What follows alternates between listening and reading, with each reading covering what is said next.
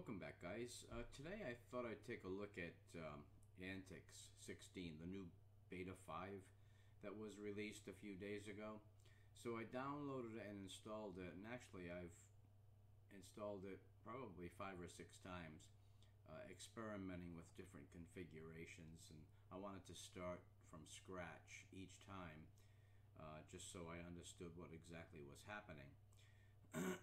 um, so let me go through some of the things. Now I, I made some notes because there is a um, sequence that I believe you should follow when when you install, especially uh, Antix, um, because you need you'll need to configure some items, and I I'm gonna show you uh, how to figure those things out a little bit easier um, based on my trial and error. First of all, when you install Antix 16 uh, beta, it gives you the option at the beginning of the install to select either Debian Jessie, Debian Testing, or Debian SID. Once you make your selection and you continue with the install, it configures the sources list accordingly. Now I installed stable and so I'm working from the stable install. Uh, you can go ahead and install testing uh, if you want, for example, later NVIDIA drivers. The stable will give you the 340 driver, the testing will give you the 352 driver. Um, so it depends on what you need. Uh, I only wanted the, the uh, 340, that was fine for me. And so um, I went with stable. So I'm working from a stable install. Uh, the first thing I want to do is let's open up uh, Synaptic Package Manager and take a look at our sources list as it stands right now. Now this will only take a minute. okay, so as you can see, I've only got a few things enabled. I've got the uh, Antix server, which is uh, enabled by default. And in the uh, Jessie, you get the Antix server, the usdebian.org uh, repo, and the security updates repo. Those are the only three that are enabled. now, we're going to do some more work on that in a, in a minute or two, but let's just close that out so we understand what we have there. The first thing that I recommend that you do is run netselect apt. Now I did a video on this uh, a while back, but I'm going to go through that with you. Now I, I'm connected by Ethernet right now, so I do have access to the internet. So let's uh, do sudo apt get update just to update the system. And then we'll we'll do sudo install apt-get install netselect apt.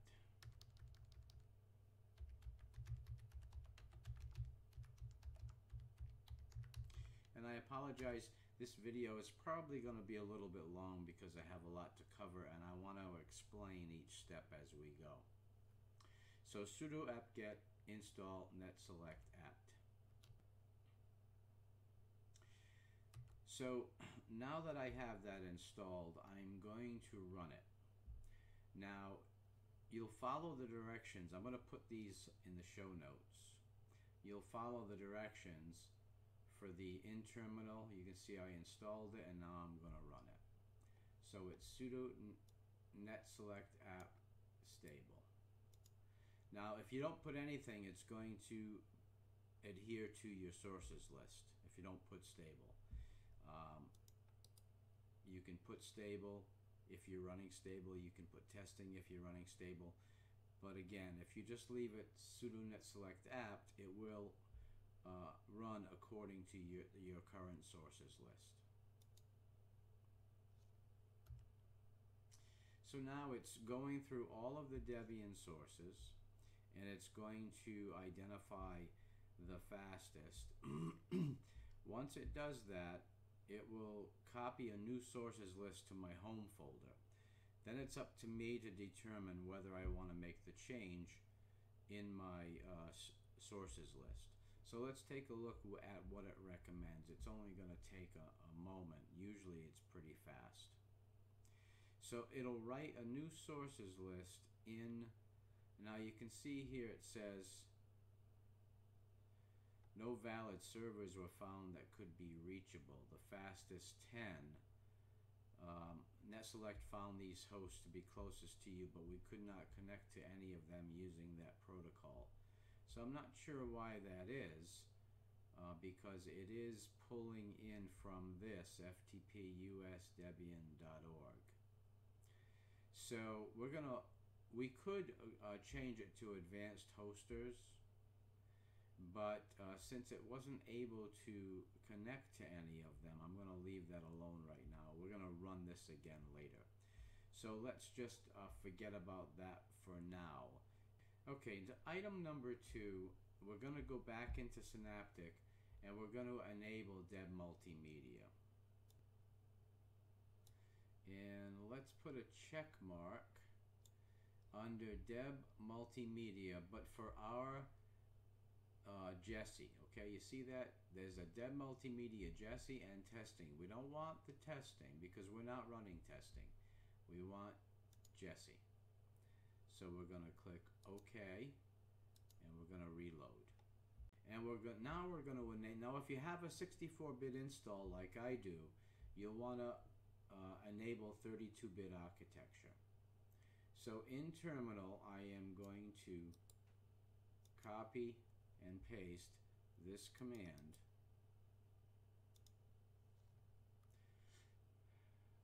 sudo dpackage add architecture. So i386 is 32-bit. We're going to add that.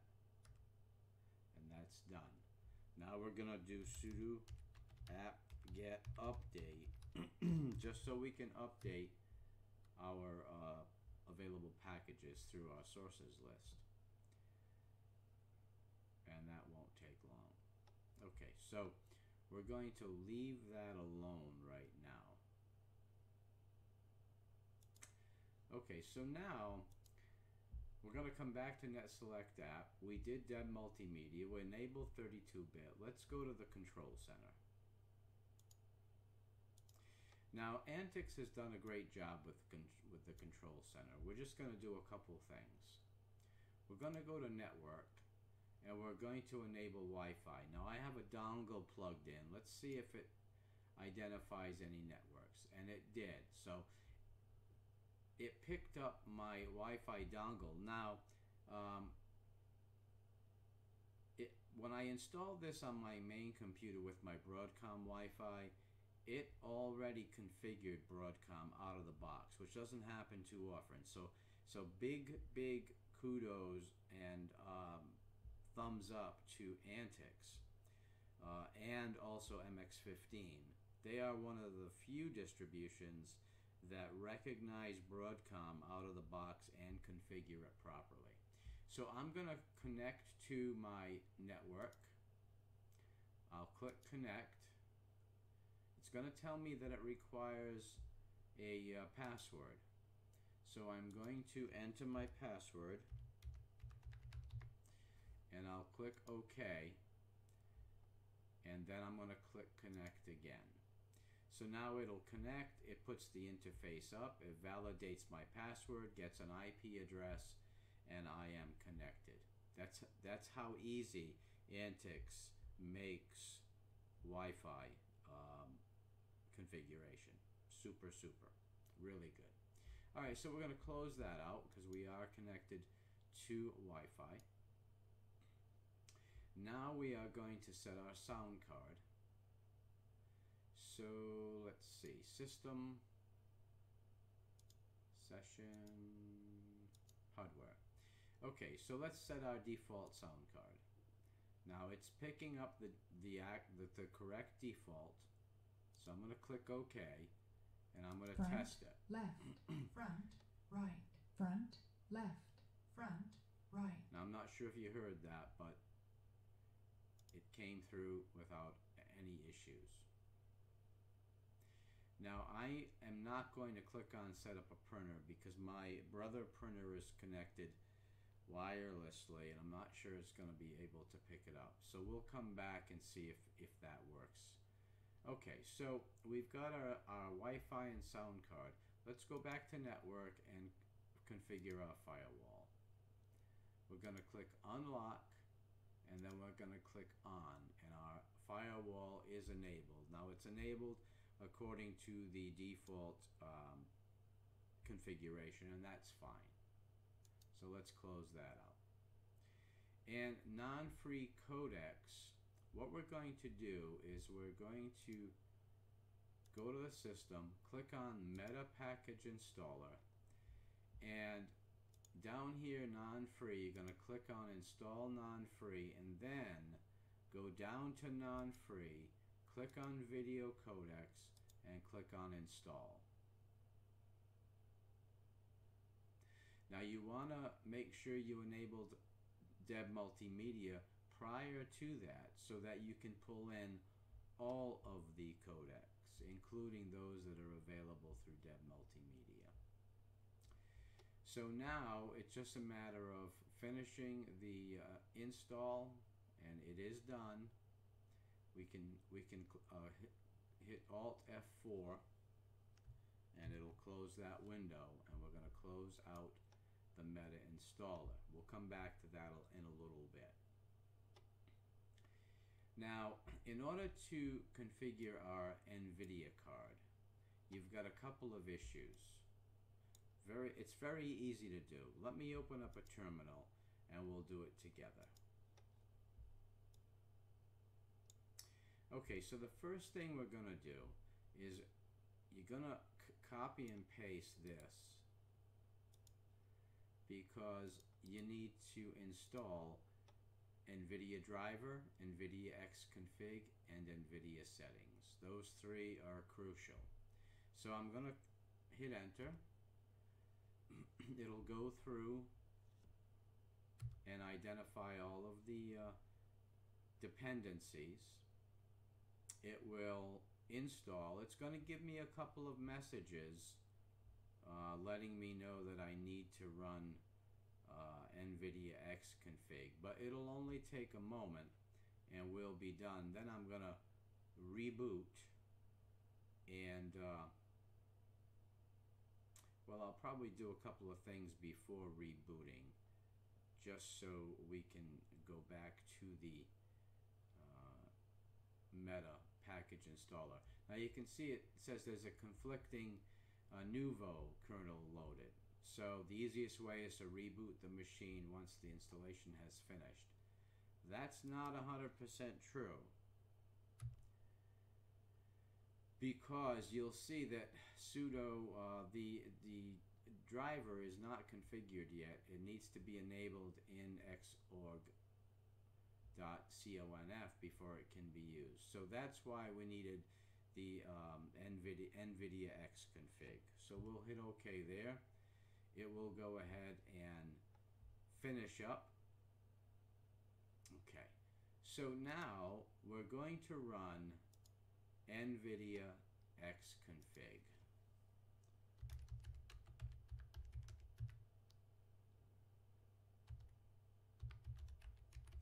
And I believe that needs to be root. So let me add that to this so that the show notes are correct. Okay. So now sudo nvidia xconfig. Okay, so it wrote the configuration to the proper file.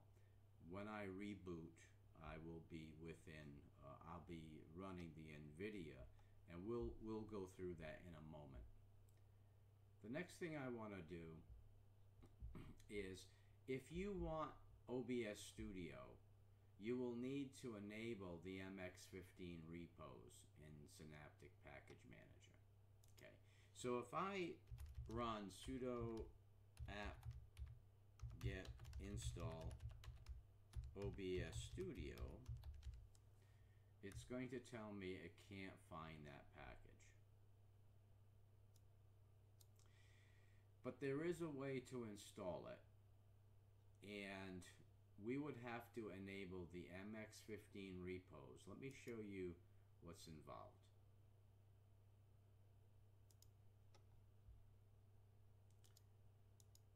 Now if I pull up my sources as I did before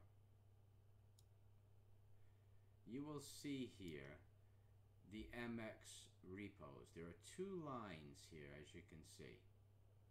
There's this, the MX repo and there's the test. We would need both.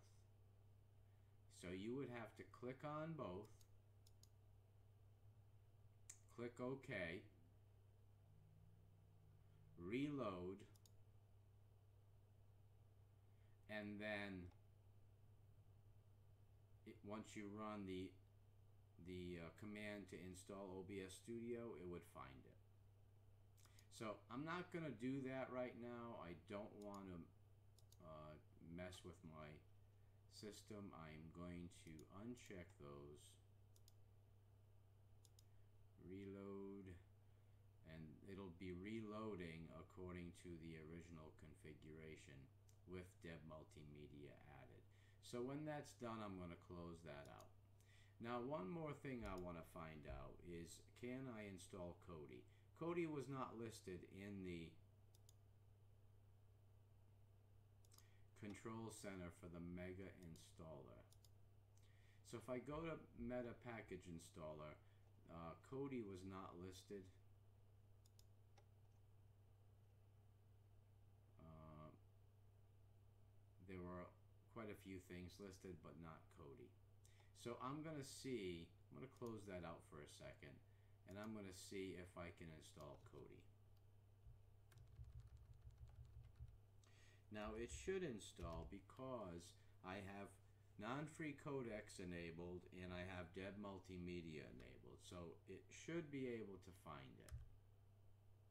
And it did. So we'll let it go and install and we'll check it. Once it's done, it shouldn't take long. Once it's done, we will check it in the menu.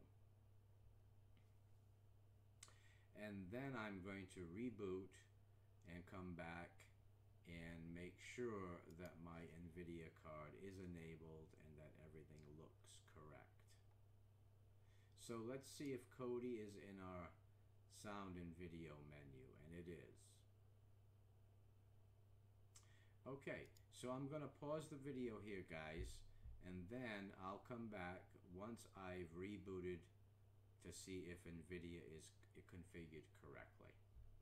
Be right back. Welcome back, guys. So I have rebooted, and um, visually, I can see already the benefit of running the NVIDIA graphics because everything looks much sharper and crisper. Now, let's see if everything is configured properly. NVIDIA 34096 OpenGL and we are good to go. Everything looks terrific. Absolutely terrific. now, overall, Antix um, 16, this is beta 5. I absolutely love this distribution. This along with MX15, it's hard to pick which one that I prefer. MX15 is a little bit more, I will say, polished that's probably not a fair word, but um, it's it, it does a little bit more for you out of the box. Let me give you one example, and and and if I can make a recommendation to the folks over at um, MEPIS or Ant- Antix, um, USB drives should mount in your file manager automatically. That should not be something that the end user has to configure. If I click on the file manager, I have an, a USB drive plugged in right now. It's nowhere to be found. It now there is a way to mount it, but you have to currently you have to go into Control Center, go to Dis, click on Mount Connected Devices, bring up the list of your connected devices. So in my case, I have a lot of devices connected that I'd really like to be mounted. Some of these are internal hard drives should be mounted. So all of the these mounted the, these devices should be mounted in my file manager automatically. But the one I'm most concerned with right now is SDE, which is a uh, USB flash drive. That should, as soon as I plug that drive in, it should mount. It's not doing that. There is a way to do it. I have to put in the device name and give it a mount point. So if I say SDE and I leave this media CD-ROM and click mount, as you can see, it's mounted. USB hard drives, those should all mount when connected. Um, it would make things a lot easier for the end user. Now, I understand that the end user for a distribution like Antix is not going to be a rookie, somebody who is um, just learning Linux. But I don't think that's a good argument for not mounting the USBs. Even an experienced user wants to have access to a USB drive once they plug it in. Shouldn't have to go through multiple steps. Linux can be difficult enough. Simple things like USB drives should be mounted automatically. And guys, the last uh, item that I said I'd go back to is the printer. Let's see if the printer configuration in Control Center, um, see if that works. So let's click on Set up a printer and we're going to click add. And network printer find network printer. Wow. Okay so it found my brother network printer. I guess the question is uh, whether or not it will be able to load drivers. We will click on that